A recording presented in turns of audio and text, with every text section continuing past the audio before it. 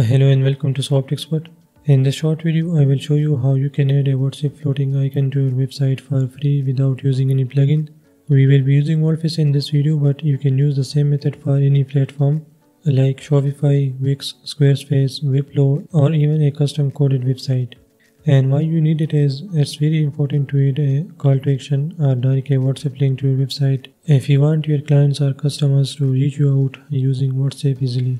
So let's see how we can do it. We will add a WhatsApp floating icon here, okay, to this same website. Now the first thing is you will need to follow this link in the description which will take you to this page uh, where you will find a blog related to this video. Now how to edit? You can see this code.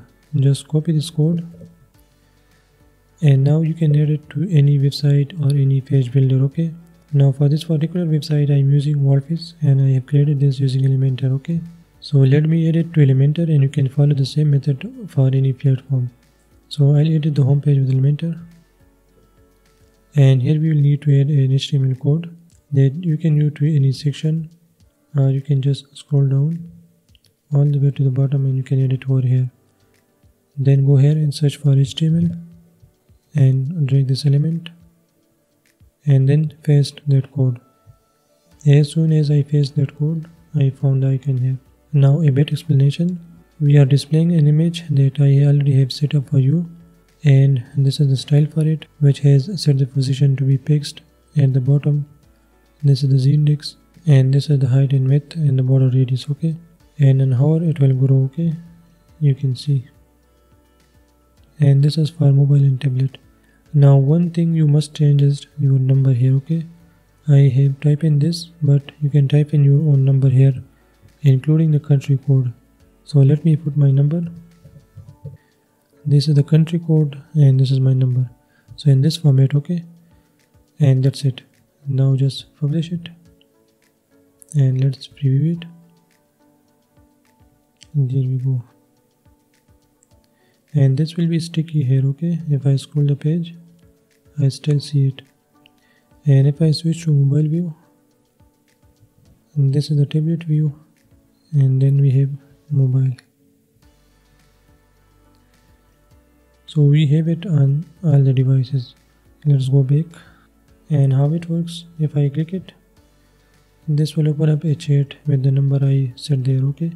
Now we can click on continue to chat and we can start conversation with this number. So this was simple.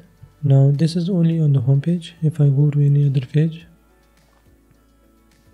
i can't see it okay the reason is we have only added to the home page now to add it globally to all the pages just go to that same link and uh, you will find another code here so to add it globally on all pages use this code now this code is a bit different from the previous one. This is a function that we can add to our function.php file or we can add it by using a code snippet plugin okay. So let's see how it works. I'll just copy this and let's go back to Elementor to remove the current widget okay.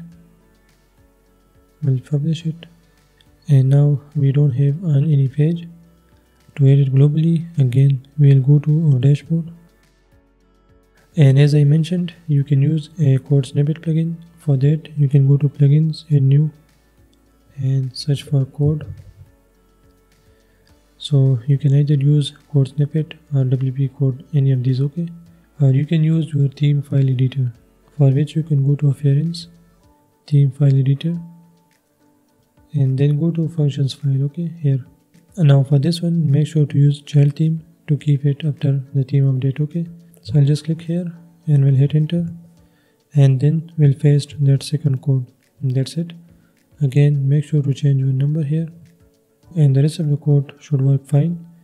Let me update it and let's check our website. I'll open in a new tab. So we have got the icon on the home page on the second page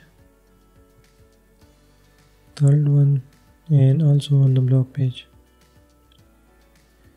Uh, so this was the code method and if you want to add a whatsapp icon using a plugin you can just go to my channel and search for whatsapp and you will find another video to add a whatsapp chat to your website okay?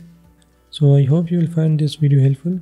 And for more such videos you can follow my channel and still if there were any confusion and let me know in the comments. Thanks for watching and i'll see you in the next